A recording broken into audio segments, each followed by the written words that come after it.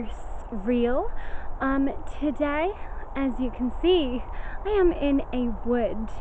Now, this wood is called Bagley Wood and it's in Oxfordshire. And supposedly, there's a lot of history to this wood. I'm in a place called Kennington, which is just outside of Oxford and it's between, between Oxford and the River Thames. The woodland is extremely old and was mentioned in 955, 955 by King Edred. I think that's how you say it, Edred.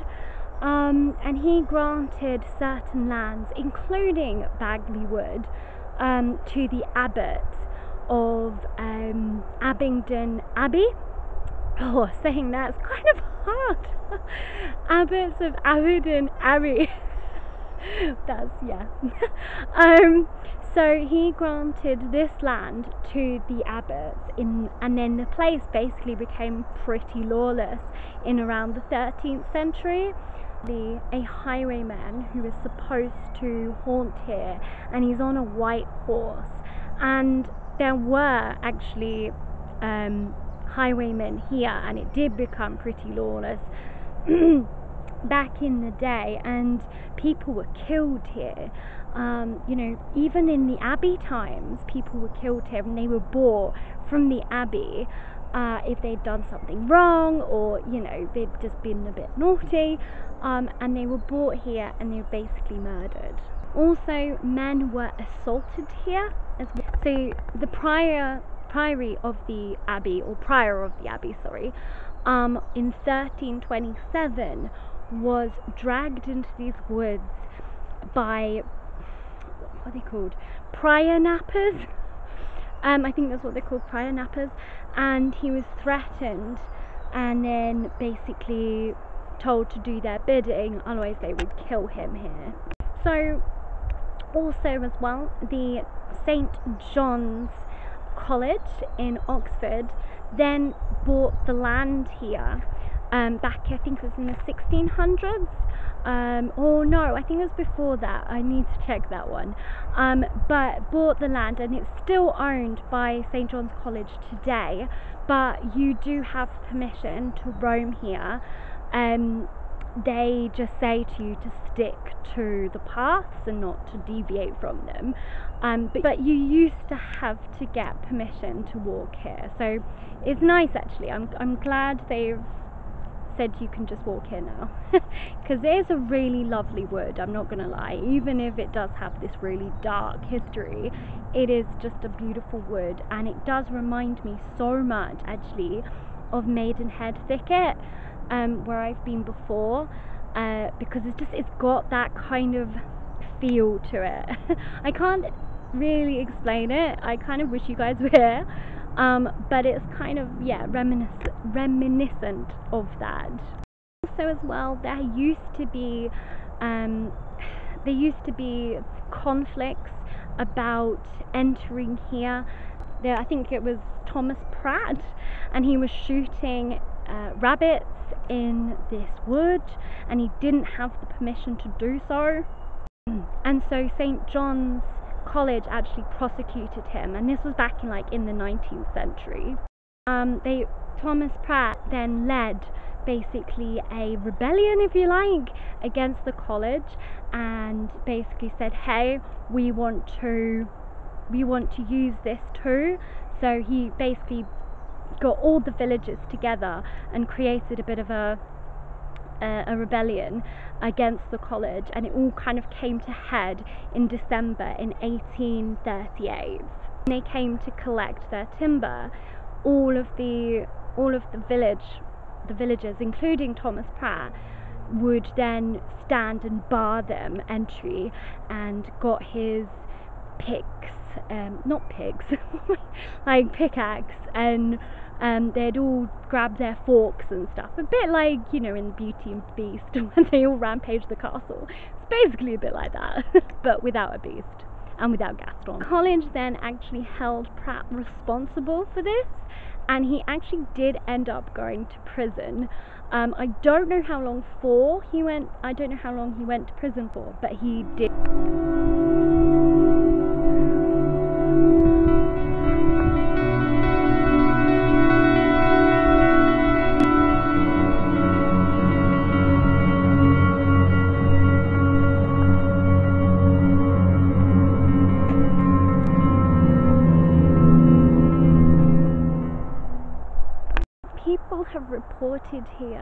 Um, and in fact, there was actually in 2015 a couple who were walking here uh, at dusk, so around the same time that I am actually here now, because the sun is going down. It doesn't. They were just walking when all of a sudden they saw this shadow figure, and he was like really tall. I say he, but I don't actually know if it was a he.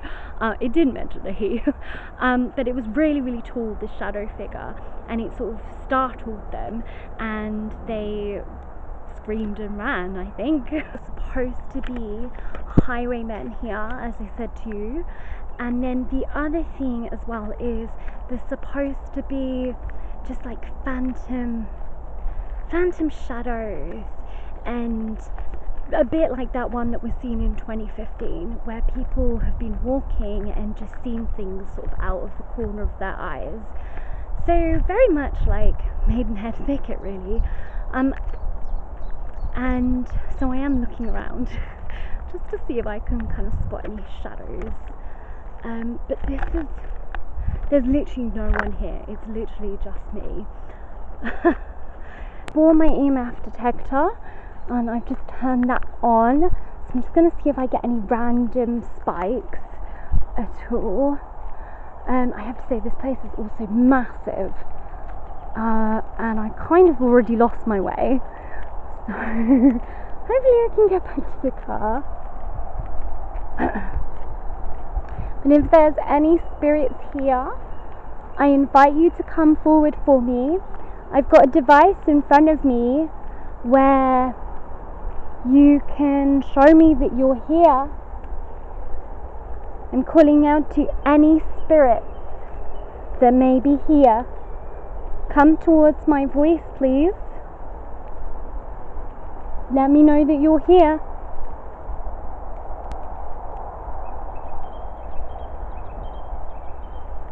I mean, there's all sorts of animals here, so I can hear like all sorts of rustling and stuff. Is there a highwayman here? On his horse?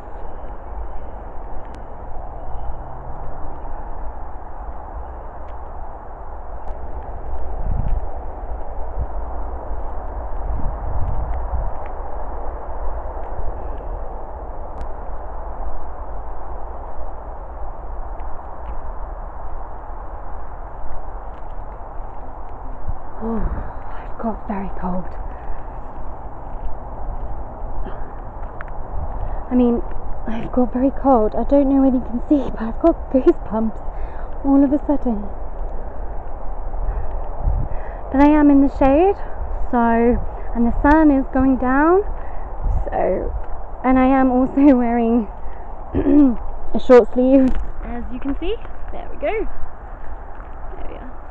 So, I could probably explain why I'm getting cold. so I probably I'm gonna debunk that as not paranormal. It's quite freaky down there. Actually, it does actually look like there's a shadow. I mean, maybe maybe people mistake these shadows as just I don't know. It's just um, when the sun is going down. You know, it's easy to, or when the sun is in a certain position, it's easy to, if you're just walking and out the corner of your eye, you could easily mistake one of the shadows on the trees or something as something sinister.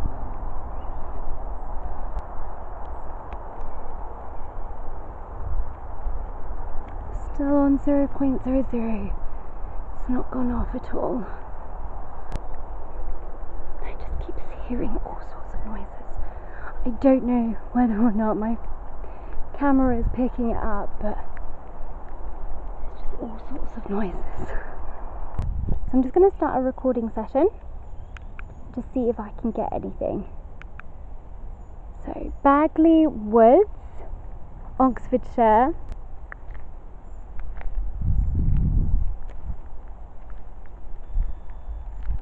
Something like an animal just in here because I can hear it. That's really weird. my camera's starting acting a bit weird. It wouldn't let me record, even though I was pressing record. Like, yeah, okay, sometimes it acts up. Um, so I'm not gonna really take that as paranormal either.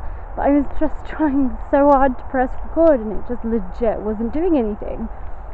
Um, and I didn't realize as well it turned off. So I was speaking and I don't know whether or not you guys heard what I was saying. Um, and just typical now, I literally can't remember what I was saying.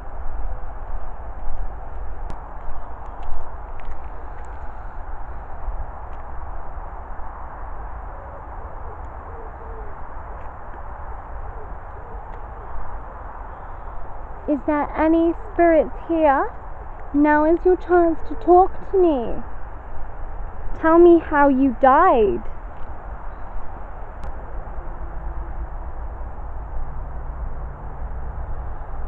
What year is it for you? Oh, yeah, there's.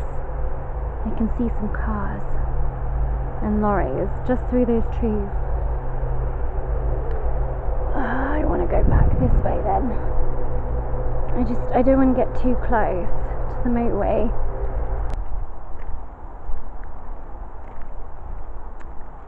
I don't know whether to go this way or go this way. Hmm. I'll go this way. Storm 0.00. It's literally been on that the whole time.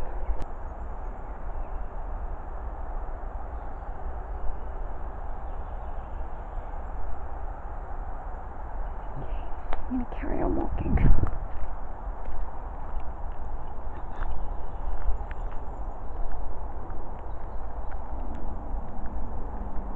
So many noises, but none of them are paranormal, they're all just noises of animals.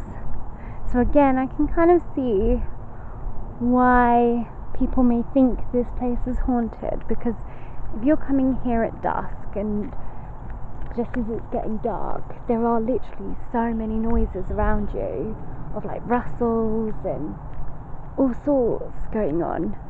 Um, and my camera probably isn't picking that up, but there's just so much noise.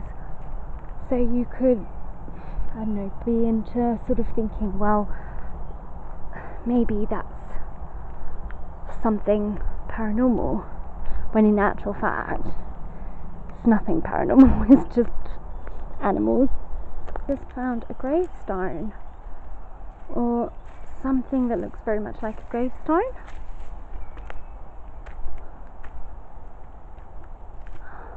It's all in Latin. I can't read Latin. In memoriam of Julia Me. I can't even say that. I'm not even going to try and pronounce that. There definitely says scholar. Um, founder, Oxon must be something to do with Oxfordshire. Um, public, Germany.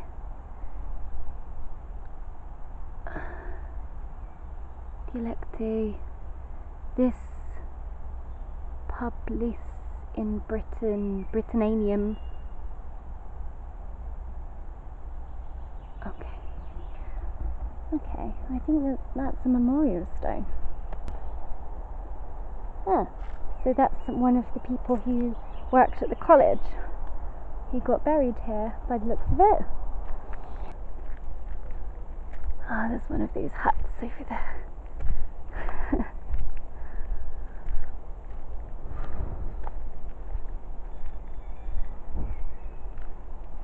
As I'm walking here and I'm hearing all the noises and seeing leaves suddenly fall off trees, I have to say, I am feeling a little unnerved here. I think that's probably the right word. Um, but I know that they're just animals. I've heard that this place was lawless. Is that true?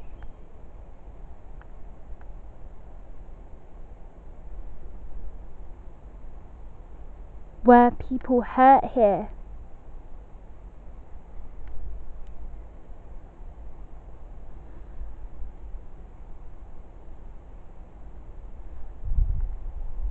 Were you hurt here?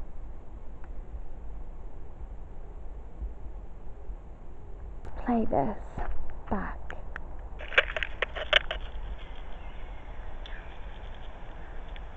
I've heard that this place was lawless. Is that true?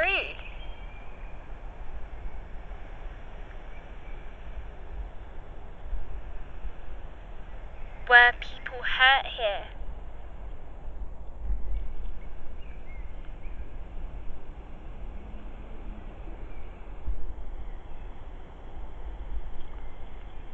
Were you hurt here?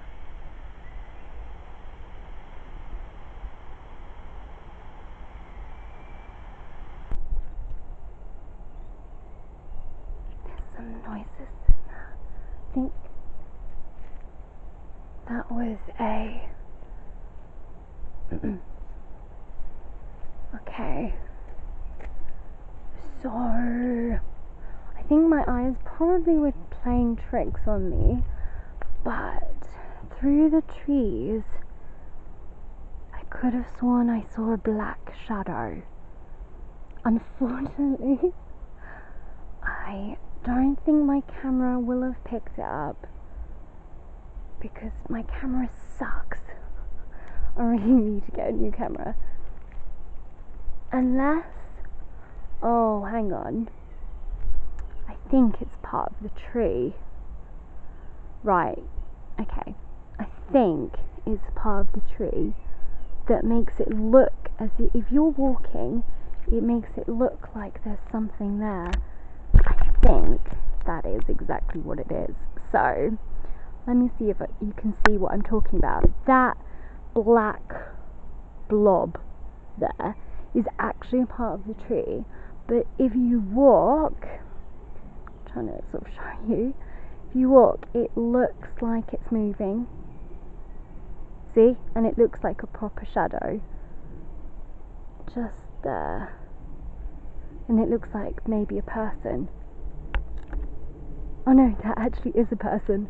My bad. It's still debunked because it actually is a real person. I guess that's hilarious. well, there we go. You can see why people do really easily get confused here. Because that did look really suspicious through the trees, but it actually turned out to just be a real person walking through the trees in black at dusk. I mean, wearing black in a wood that's supposedly haunted with shadow figures. I definitely see why people may actually think that that is a shadow figure if, you know, through the trees they're seeing this black thing moving. Um, and you can't quite make out what it is, and then you realise, oh wait, no, that is a person. But the only reason I realised that was a person is that I was staring at it, and I was trying to show you guys it as well. So if I hadn't done that, you know, and I was just sort of walking, and I wasn't paying as much attention, then easily I could have thought that was an actual ghost. One of those go off for me. Still nothing on it. If you've got anything to say, now is the time to say it. Because I have to go home soon.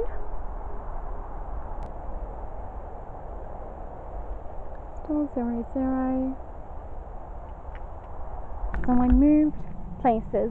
That one going off is because I put it down. So that's me.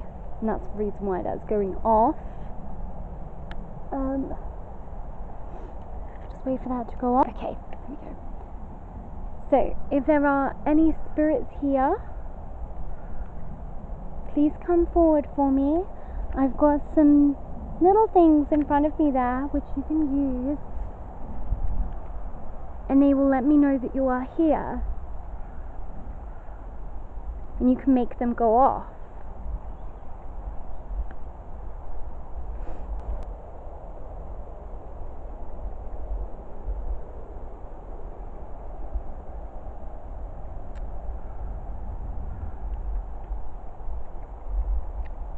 Are there any monks here?